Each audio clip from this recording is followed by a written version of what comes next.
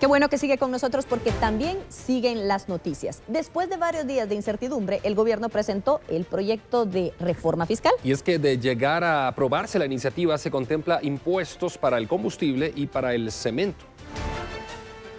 El Ministerio de Finanzas presentó el plan para el fortalecimiento de la reforma fiscal, iniciativa que será presentada en los siguientes días en el Congreso de la República. Esta propuesta para el fortalecimiento de la reforma fiscal ha generado ya diversas reacciones, principalmente porque los bolsillos de los guatemaltecos se verán afectados. Con la aprobación de esta iniciativa, los derivados del petróleo, incluyendo diésel y querosina, aumentarán tres quetzales al impuesto por galón.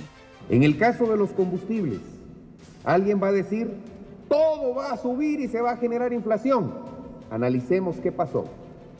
Bajó el petróleo y el diésel bajó casi a la mitad del precio, pero el transporte no bajó, los servicios no bajaron, los productos no bajaron. Y entonces, si cuando baja el combustible no bajan los productos, ¿por qué cuando sube sí tienen que subir los productos? Además, el precio del saco de cemento aumentaría 5 quetzales más, es decir, si ahora cuesta 78 quetzales, su precio será de 83 quetzales. Por otro lado, el impuesto único sobre inmuebles pasaría a ser recaudado por la Superintendencia de Administración Tributaria. En el caso de las municipalidades que así lo soliciten, pues ahora este impuesto es recaudado exclusivamente por las municipalidades. En el caso del aporte que generan las empresas de industrias extractivas, las regalías pasarían del 1 al 10%.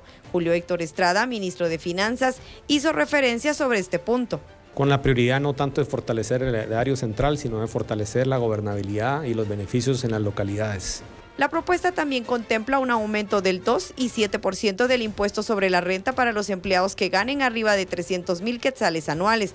Por lo tanto, los empleados volverán a presentar planilla de IVA como el mecanismo que se utilizaba en los años anteriores. En tanto, habrá que esperar a que la propuesta de reforma se conozca en el Congreso de la República para conocer cuánto y de qué forma la ciudadanía vuelve a sufrir las consecuencias.